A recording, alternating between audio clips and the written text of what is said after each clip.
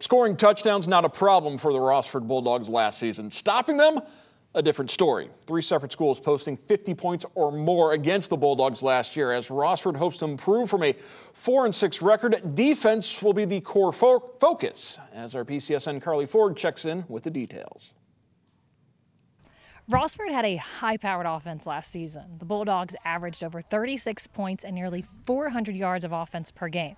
But on the other side of the field, the defense was allowing an average of 38 points per game.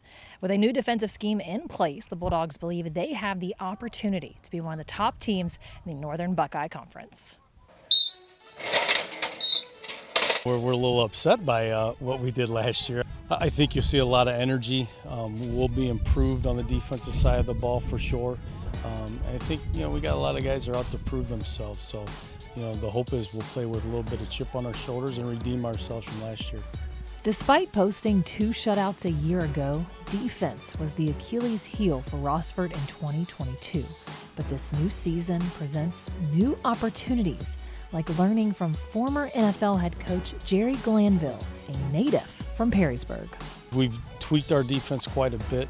Um, we've had the privilege of having Coach Jerry Glanville help us out a lot with our defensive scheme, and we've changed things a lot. But you know, ultimately, whatever scheme he has, it doesn't matter if you don't have guys that are going to be able to play hard and run and tackle. And you know, we think we've got the guys to do that. So yeah, we're, we're excited to, I guess, prove ourselves uh, worthy of playing a lot better. We have great coaching from Coach Glanville, an NFL guy. He's giving us some of his plays, so it's going to look good. It's a really easy defense, honestly, but it works great just stopping runs, which we got ran over a lot, I'm not going to lie. But it's going to make it a lot better gap sound defense. On offense, Rossford lost a few key players like quarterback Alex Williams and wide receiver Jake Morrison. However, there are several starters returning, and the Bulldogs are adding a lot of freshman talent to their roster. We, we gained a few offensive linemen back. Owen Taylor, Sam Wilburn, and Nick Tadoni on the left side. Uh, running back is back at Grant Eckel. Uh, everyone else is new. Now, our, our one stud receiver is back, and, and Kaden Kirkman. So everyone else is, you know, competing for a spot, but I really like what we have.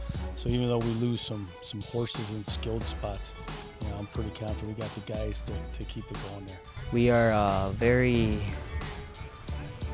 underlooked at. I think uh, we have a lot of talent, a lot of young kids that have been busting their butt these last couple weeks, and I think the sky's the limit for this group. We got a lot of guys with just energy. Like we're seeing like a lot more pumped up, and after having a, like you said, a bad defensive season last year, we had the offense 40 points every game basically.